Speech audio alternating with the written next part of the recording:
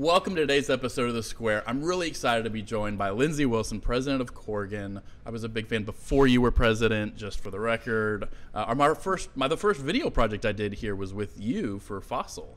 Oh wow! Yeah, so um, that's what that's what started it all. That's really how we trace the square's roots all the way back. It's to all fossil. the way back to fossil.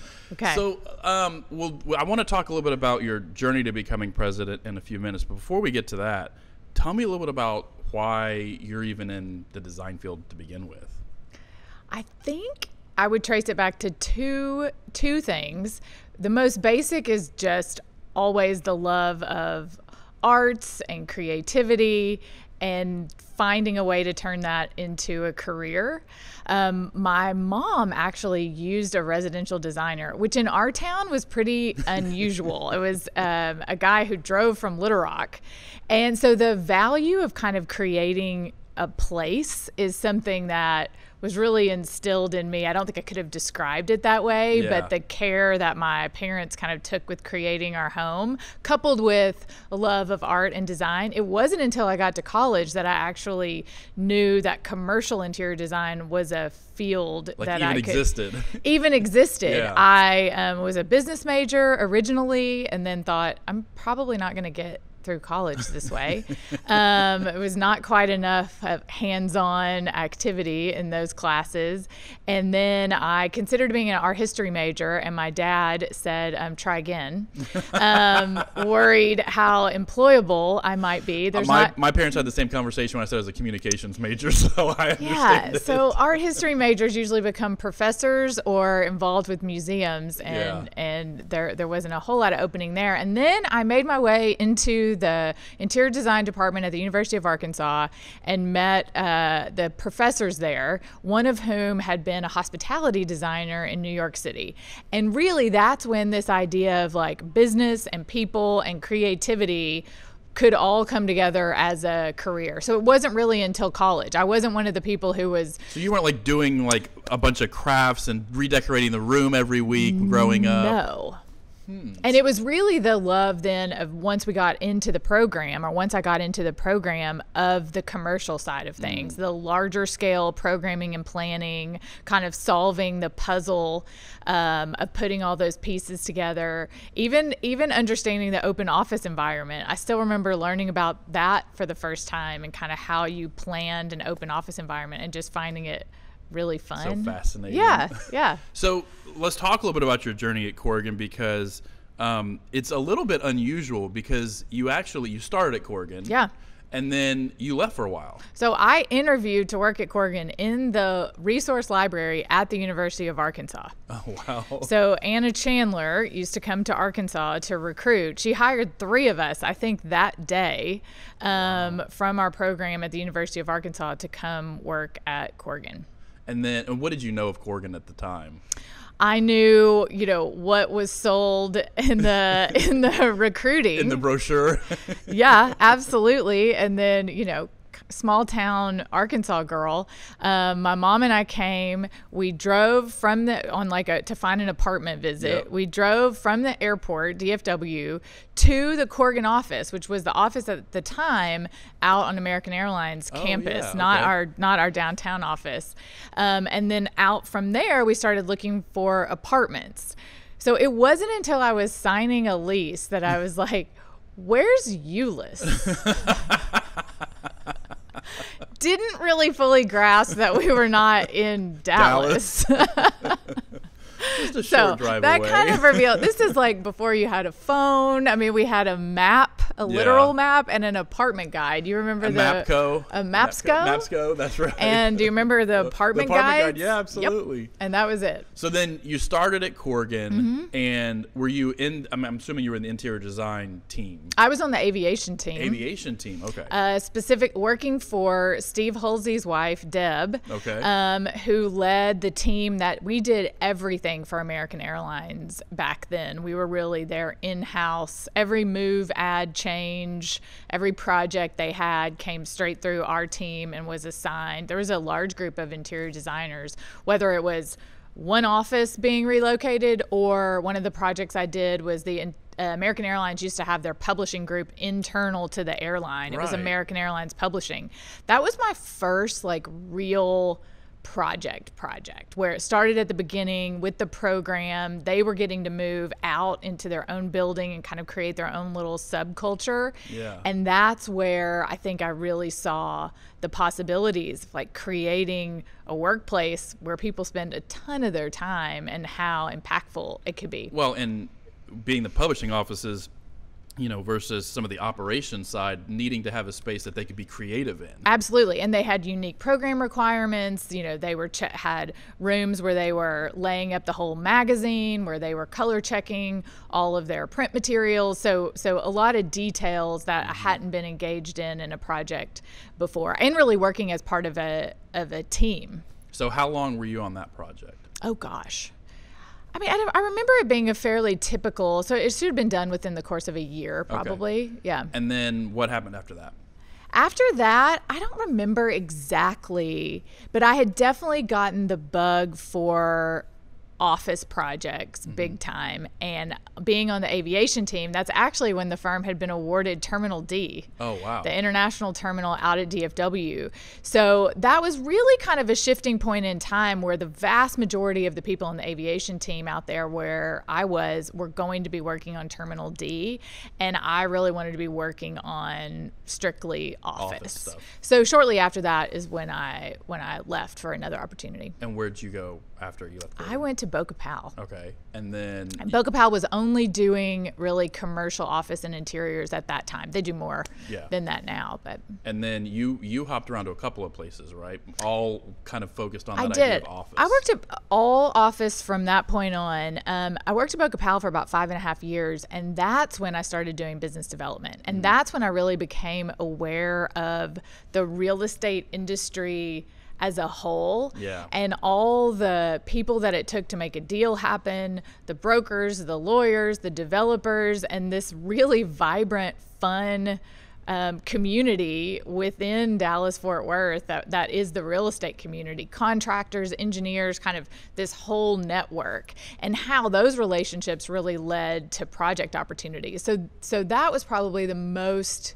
formative part of working at at BOKA it kind of rounded out your view of the industry because you had not just the art- artistry but the business side of it. Yes, and the people side of it Mm-hmm. and the strategy to this day, which is absolutely my favorite thing, is when I think we're the right firm or the right team for an opportunity, there's nothing more fun than putting together the strategy to explain that or show that to Yeah. the potential client that why they should hi- hire us.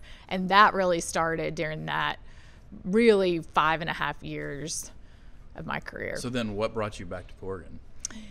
What brought me back to Corgan? So, so after BOKA Powell, I made two other stops. One at an all interiors firm, small boutique, just doing all interiors. I I wanted to check that out, and then I worked for a short time at a furniture manufacturer, which was super interesting to kind of observe observe the design industry from that Another angle, perspective yeah. and kind of see how people worked with their clients, what clients kind of said when they weren't uh, with the, with their design partners. That wasn't my intent. Um, I took it because it was a business development opportunity, but that's really what I learned. And then um, a, a senior person in the interiors group here at Corgan had left. And so there was an opportunity really to rethink Corgan's approach in Dallas um, to the interiors marketplace. And my old friend Matt McDonald, who I had stayed friends with the entire time I had been gone from Corgan, which had been 10 years, um, he called me up and as the agent, I think, um, and said, you know, would you ever come back to Corgan? And I said, I, I don't know, maybe. You know, I had great, great memories of working here, but I had never worked in the in the Dallas main office. Yeah. And so I came and I met with Bob Morris and John Holzheimer, and I will never forget it. Although Bob is always like, "Is that really the first question I asked?" And I'm like, "Yes." Um, it made such a memory on me, but it was just how he thought about things. He said, "Why don't you tell us what you want to do, and then we'll tell you what we're wanting to do, and we'll see if the two things sync up." That's such a typical Bob question. Such I a Bob that. thing. Instead of diving in with like, you Yeah. know, not dancing around it. We're just gonna get straight to it. what do you even want to do? And I had wanted to do the same thing for really the pre the past 10 years, Yeah. which was have a fully well-rounded developed interiors team that could compete on a daily basis for the best projects in this city. Yeah. At that time in this city was my frame of reference. It, it would obviously then grow to be in the country. Yeah. Um, and and now knowing Bob so well, you can imagine that he was like, "Oh yeah, that's what we want to do." and then I met Dawn. Right, I had met her before because um, I had lost a project to her, a big law firm project, not too long before. But some of the feedback that the client had given was that the team he actually wanted was the Corgan team plus this girl who was on another team. And Dawn had never forgotten that. And when we sat down to talk about like her vision for the team she was leading and where, you know, Corgan Interiors could kind of go, it was our our match was Yeah. made pretty immediately. And and really if I look across my career, probably the most impactful relationship. I mean, we have complete different sets of strengths, which has been the secret sauce from the beginning. She had this resume of big, complicated projects. I had a resume of pretty small projects, um, but high profile, and I knew a ton of people.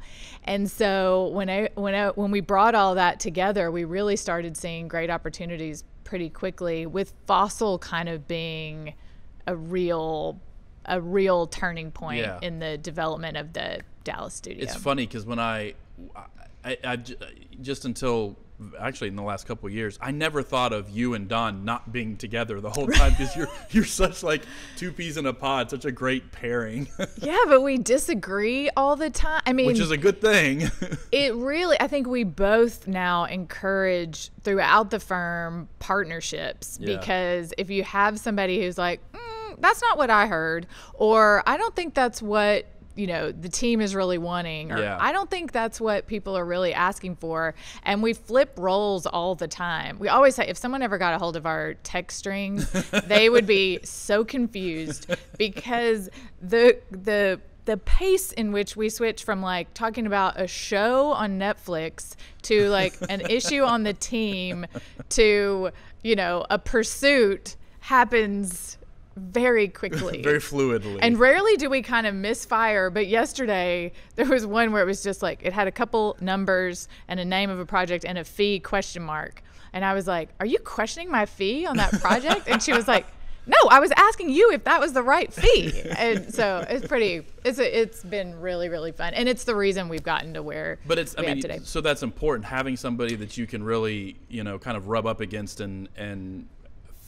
I think probably collaboratively conf- conflict with is important. Oh, for sure. And it allowed, it really allowed the development of the rest of this sector. So, I mean, da- the Dallas Interior Studio is still the engine of the interior sector. It is mm-hmm. by far still the largest team with the largest amount of revenue and, and the most high profile reputation. Right. But because Dawn has been leading that team with a ton of strong leaders around her as well, then I've been able to work with all these other cities, hire, hiring incredible leaders Yeah. in Austin, in LA, in Houston, um, in Phoenix, which Dawn works really, really closely with the It's Phoenix. funny. I look at this. I know this was Yeah. from a couple years ago, but I see like New York and I see L.A. and I see Phoenix, Houston. and Houston, and you just kind of see them from all over the place. Yeah, so is this awesome. was the last time we were able to get all of the officers Obviously from the interiors team together. Pre-COVID, yes, Yeah. we're all. But it's an incredible, you know, this is what makes me so proud and excited today, which I Yeah. never would have imagined. Like these people are the best in the business, Yeah. a hundred percent. So, um, let's. I'd, I'd love to talk a little bit in terms of your journey.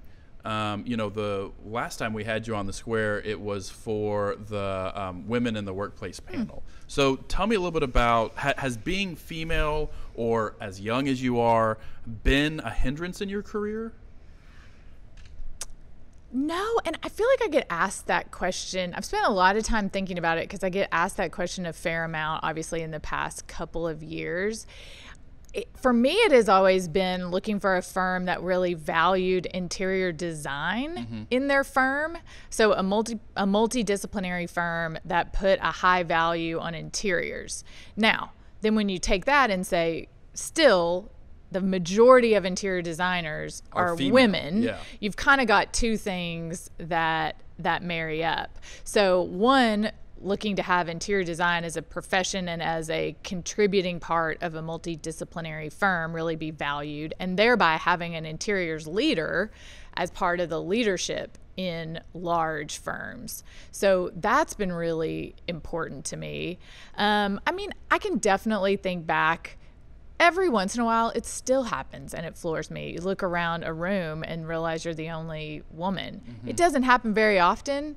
Um, usually because there's more women from Corgan that are with me in that same in that same meeting. So I think a lot is changing, but yeah, I can remember times thinking, "Huh, I wonder I wonder if I'm not getting that opportunity. Yeah.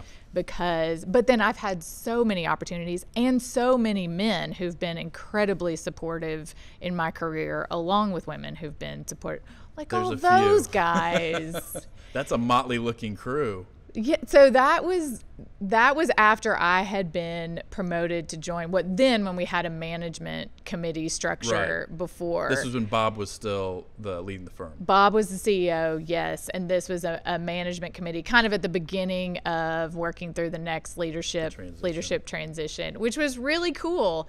And I felt I felt like I deserved my seat at the table and they certainly treated me from the beginning as a as a partner. So as a leader, we uh, had a conversation with Matt Mooney a couple of weeks ago, and one of the things that he he really praised um, the leadership, you know, with with CJAC and David and Bob and John uh, Holtz and um, then obviously the present leadership. And but one of the things he mentioned was a lot of times he felt like they had to put their first love a little bit to the side in order to take on the mantle of leadership. Mm.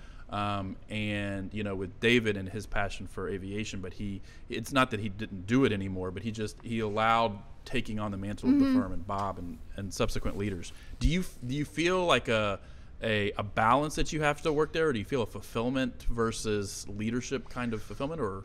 Well, I think you know what came out of what ended up being a really fantastic kind of transition process that we went through over the course of a little more than three years was that Steve and I both, Steve Hulsey and I both felt strongly that we did not want to get out of the practices that we were in uh, for a couple of reasons. One being, as fast as the industry is changing, we all felt, Scott included, that it was important that we really kept a sense of what was going on with our clients. Like if we were going to lead this firm, not even knowing that COVID was going to come down sure. the pike, yeah. you know, in the early early phases of our leadership, but that we needed to know what was going on with our customers. So by splitting the roles of CEO and president in the firm for the first time from just one person, there had always just been you know, David, well, CJAC, David, and Bob were president and CEO of Corgan. Right. We took the role that was held by one person and split it between three. Right. Um, which then did allow for a little more balance. And then in that in that kind of transition time, I was much more engaged with marketing, with branding, with culture, communications, uh, with the evolution of our HR team. And Steve was much more engaged with starting new offices, with our BD director network. And so it kind of naturally sorted out in how we could best influence areas of the firm's growth and development. You know, we uh, we did a project a couple years ago for a um, a financial company um, who had two CEOs, and I remember being in the room with them um, discussing the project and thinking, man, this this really works for them, and it's because of their they had graduated together um, and had kind of started this business together, and it, it worked because they they had that relationship and that trust. Thinking of you know two presidents and a CEO, um, it for a lot of people it might not work, but for you guys it really does. It really does, and it's kind. I mean, there's no fear of conflict, but we all three are pretty level. You know, we'll state our opinion, mm-hmm. hear out the others, we'll talk through it, and and what I think we put our finger on it at some point nobody's afraid to kind of bring something up early in its development. Yeah. Like there's never been this need like I have to fully bake this presentation. I have yeah. to figure out every bit of this before I present it to my partners. No, it is definitely like, okay, I had this idea. I haven't sketched on a napkin from a bar. yeah, and it will either grow from that point or be like, me. Yeah. You know, maybe not now, maybe yeah. not not the time. And so that kind of communication that's really easy, but also honest, I think is why it works. Now, if you had either one of them sitting here, well, one, Steve would never take that long to describe that. he would just be like, "Yeah, no, it works. It's good. We all get along."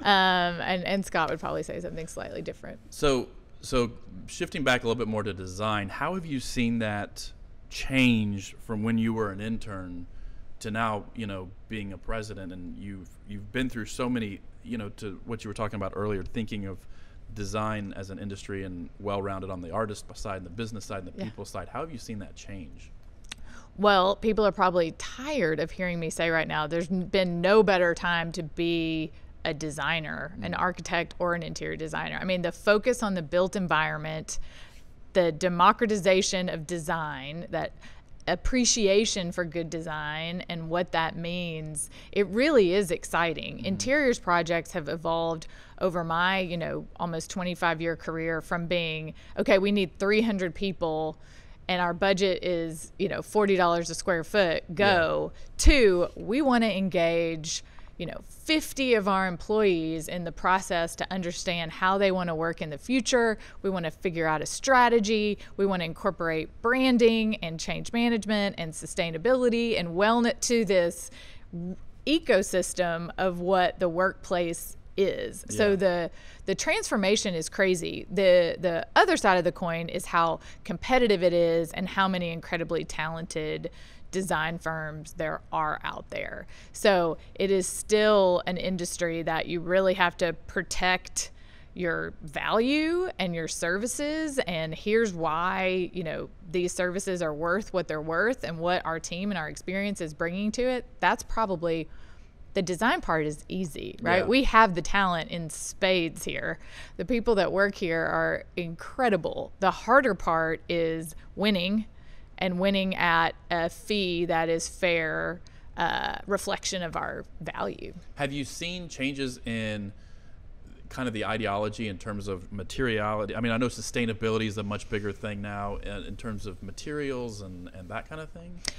Well, probably the most marked difference would be one in just the strategy develop why are we doing what we're doing mm. and so the workplace strategy practice that emily strain founded is really uh, rises up from that that our clients want more of that the branding layered on top of the great design that the team is doing that paige terrell and her team yep. are doing and then that the furniture is such a particular part and really makes a project sing and it is a credible expense to the project that jasmine efrisy and her team so you take our crew of really talented interior designers and project managers and then you start layering on all these specialties on top of it. I mean that's what's changed. The a beautiful project has so many layers now. Yeah. and i mean we've been saying this a ton lately right? Design is a team sport. Right. i mean when you look at the best of the best how many people touched it and how many ideas and talents influence the work is pretty mind boggling. Yeah. yeah. So to be a cog, I mean, that's what I love really is being part of a team. To be a cog in the wheel of any of these projects, I is more than I really ever imagined. what do you think the next five, ten years are? I mean, obviously, COVID threw a, a huge wrench in that same wheel. Yeah. um, but but at the same time, it's also allowed as Samantha, the director of Hugo, has mentioned multiple times. It's become a catalyst for a lot of things that not, aren't necessarily new. They were already kind of starting to Yeah. happen, but have been a catalyst for things to happen sooner. How has that affected the interior design industry? So this is going to sound weird, but it has become at the same time more global and more local. Okay. And I think that we're going to keep seeing. Uh-huh. So relate what we've seen coming out of COVID is how important relationships mm. our clients have come back to us. People who trusted us before are trusting us now. They're referring us to other people, but at the same time we're seeing bigger clients wanting us to cover more area, serve projects and strategy really across the world. So figuring out the challenge that I think we have ahead for our leaders is figuring out how to do both. How do we stay super present in our local markets and continue to add studios in other cities that build those relationships that kind of drive local projects, but expand our services to where we can really serve these global clients as well? I think that's our biggest challenge. Yeah. We have the talent to do anything. Yeah. That is what I spend the time kind of trying to figure out. So, uh, knowing that, what are what would be the advice that you would have for people, you know, just coming out of school, just getting in the design industry? You know, there was a TREC, the real estate council here in Dallas, posted on their Instagram or something yesterday a quote from um, Jeff Swope, who was one of the founding members of TREC and uh, at Champion Partners, and it said, "Just get in the game," and I loved it. He it, it was something along the lines, and it was talking about real estate in Yeah. Dallas Fort Worth. But you know, don't worry about the company, the title, or he said, no matter the company, the title, the sal, just like get in the game. I think that is what I would say. Just get in there and start building your network, your resume, your knowledge, your expertise, um, and figure it out. I love that. Don't don't sit on the sidelines waiting for the perfect play. Just get in there and go. Yeah, and I do see that. I think COVID gave us all a ton of time to like think, rip up the five year plan. What's the one year plan? And then keep evaluating it. I think there can be a little too much. Well, I want to be here in five years, and then a resistance to kind of just get on the path and see where it takes you. I You're a big proponent of doing that reevaluation. Oh, I am because I don't even know whatever my five year plan was when I was 25 years old. I guarantee you it was way too small. Yeah. That I never would have known what opportunities were going to appear. I'm a big proponent of reevaluating your goals constantly for being uncomfortable, for raising your hand when you're not sure if you have exactly all the knowledge or expertise, but then surround yourself with people that can help you and know when to raise your hand. So, yes, I am a proponent of that. Love that. I think again, the idea of COVID, you, that's one of those ideas that whether or not it was popular before COVID, it's a it's it's a definite example of why it's important now. Yes, agree. Um, so you had you mentioned raising your hand when you're unsure of something, or you know you feel like there's more information needed, um, and that is there is some art to that because you don't want to be the person always asking all the questions, especially if they've already given you the information. Sure.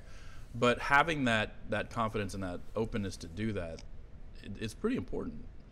I mean, I've talked about this some before. I mean, y- being an advocate for your own career is important.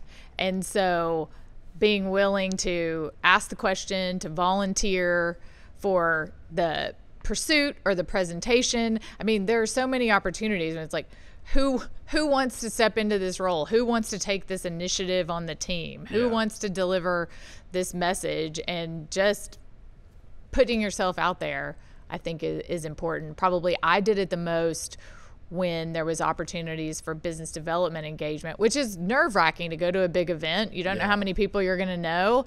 If you go to a few you will know people at the at the next one. But it is scary Yeah. um, for sure. But that's probably some of the things i did early on.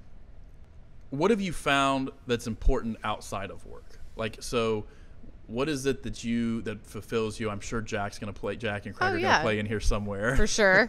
um, so yeah, so I have a son, Jack. He's 11 now, um, and my husband Craig is in the oh, there we are. And my look, even in a Corgan shirt, that's pretty good. We'll have to find Um, the clip of Jack because we, we we love to use Jack when we're doing different projects, and we were doing one for uh, a PGA project, and we had the drone, and he was able to hit the ball. We wanted him to hit it towards the drone. He hit it like Yeah. a foot over it. I mean, it could not have been any closer, and he nailed it. It was great. He will still claim to this day that he was totally aiming intentional. at the drone, which I don't know if that was true, but yes, that was awesome. The and the ability more so pre-COVID, and I really look forward to that being back that way. Yeah. Of him being around the firm, of seeing people's kids up here Yeah. when they were running in to get something, or you know had a little delay between school and an Yeah. activity, um, because he he really loves being being around here. But yeah, having kid having a child um, definitely changed some priorities and i think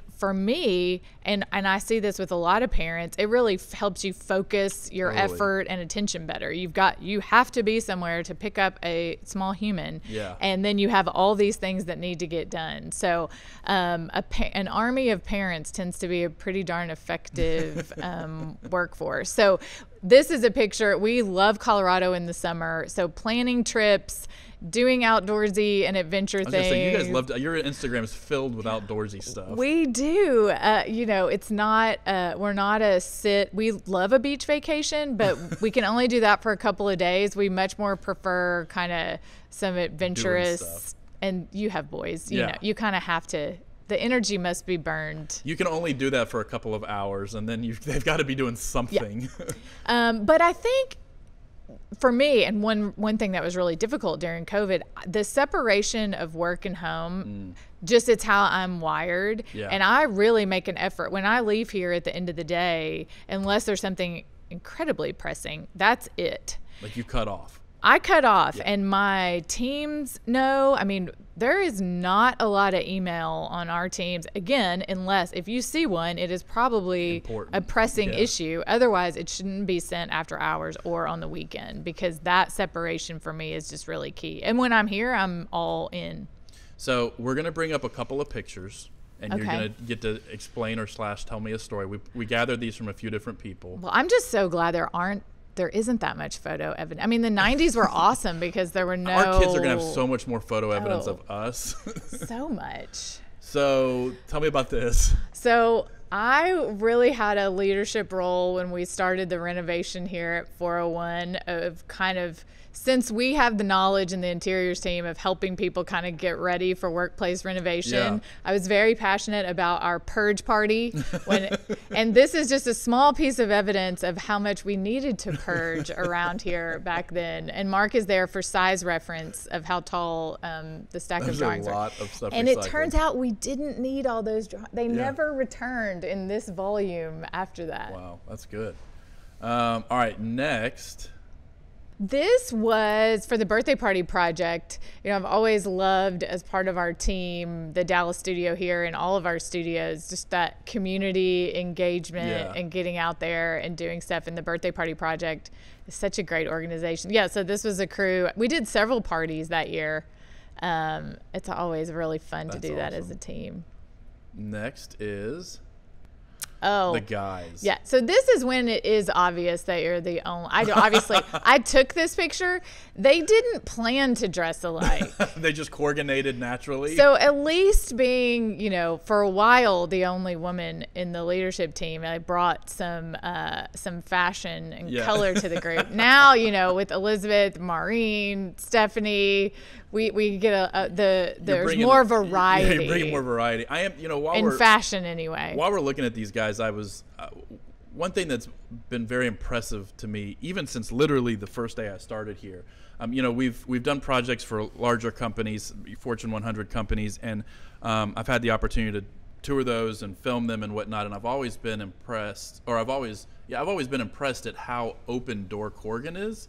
You know, those those other companies, a lot of times part of the design is having probably for practical reasons as well, multiple security points before you can get to like a CEO or a president. When I look at, at, at these guys and, you know, uh, with Bob and with the various leaders of the firm, I remember from day one, literally their doors were open. Like you could, anybody could walk right up there. you and and uh, Steve and Scott have that same policy. You know, it's not like you're hidden anywhere that nobody can get to. You're where people can come and talk to you and they have any kind of an issue. What's the importance behind that? I mean, the importance behind that is that's how Corgan was founded and created. You know that that it we are only uh, responsible for the firm for a short period of time as its leaders. And I mean, when you look at firms and their leadership transitions, ours is extremely unique for a firm originally founded and named by a single person to have been through this many leadership transitions and only grown and flourished under that. There has never been a dip in, from a leadership transition in our firm. Our challenges have always been economic related Yeah. or related to other, you know, problems in, in our different industries or cities, never from a leadership transition. And that is something I think we have a lot of pride about that we are just responsible for a period of time and then Corgan belongs to every person that works here. Matt Mooney jokingly called it a peaceful coup, which Yeah, I thought was kind of funny Yeah. because each of the the leadership kind of regimes that have come through have really, um, at least in my experience, built upon what came before them in a different way. So it's Yeah. it's never been well. I'm going to change how the old people you know did it. It's always been I'm going to take this as a starting point as a new foundation and continue to kind of add my my paint my brushstrokes to the painting. Absolutely. You will never hear Scott say my firm. You mm-hmm. would never hear me or Steve say my firm. You never heard Bob Morris say my firm. I mean, this is our firm. Yeah. And I think that is should be hardwired in everybody that works here. And that's why I think those transitions, those peaceful coups, as Matt says it, um, have been pretty seamless if you look back across across all of them, um, all the way back to Jack to David Lind. So, as a president, what do you think our future is over the next five, ten, how many every years? You know, obviously, COVID was jarring in a way because, and we we did joke after we got through kind of the most difficult parts. We have joked um, amongst ourselves like.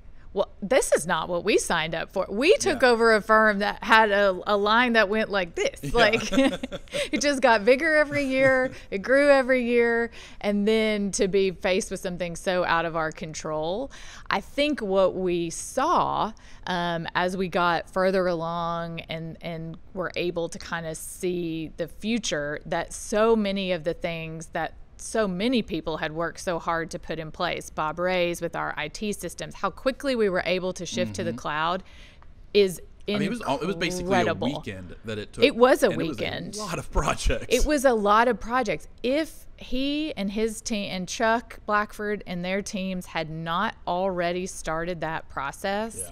who knows? We had already established those relationships. We had already established you know our cloud presence and so that was able to happen. Everything Maureen and Ahad and their team have so so many uh, through all of our shared service groups, the foundations that had already been put in for the firm to continue to grow, I think we felt really validated when we saw how we were able to perform. And the firm has always been, and this goes all the way back, a balance of really conservative financial practices with risk that makes sense. So we are not risk averse, and if anything, Steve and Scott and I are probably bigger risk takers, which I think is what the t- you asked the Right. question was. Right. What does this next five years demand? Knowing when to take a risk. I mean, firms of our size are few and far between. They're either bigger or smaller. There's only a few firms in this 500 to 1,000 kind of employee place. Right. Um, we're an extremely healthy firm. And so continuing to take smart risks to grow, grow meaning a lot of different things. Grow doesn't always just mean numbers. numbers. Right. It also means in in practices, in the services we provide, and in the places that we are and the clients that we that we work with. All of those things are growth. And if you look at the growth and development of the Media Lab, of mm-hmm. Hugo, of the Model Shop, I think all those things are indicators that we're going to keep responding to what's going on in the world to serve our clients better. So, along that same lines of having those boundaries between work and life um, and, and personal time, is there is there like a retreat that you go to or something that you try and do every year just to try and get away and recharge? So I, some of my very best friends are friends from third grade. Yeah.